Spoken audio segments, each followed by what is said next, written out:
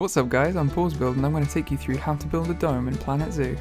So first you want to go into construction and use the straight wall panels to create the size of your dome. And here's where you want to add all of your decorations. To adjust any decorations use the keyboard shortcut X.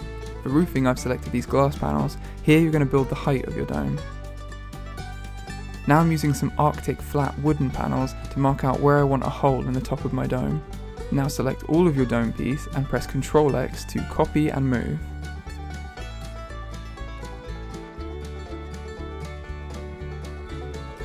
And now remove that top of the dome.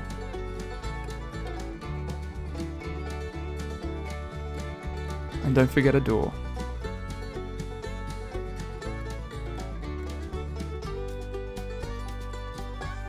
Finally, put in a tree for good measure. Thanks for watching guys, please leave a like and subscribe if you found this useful.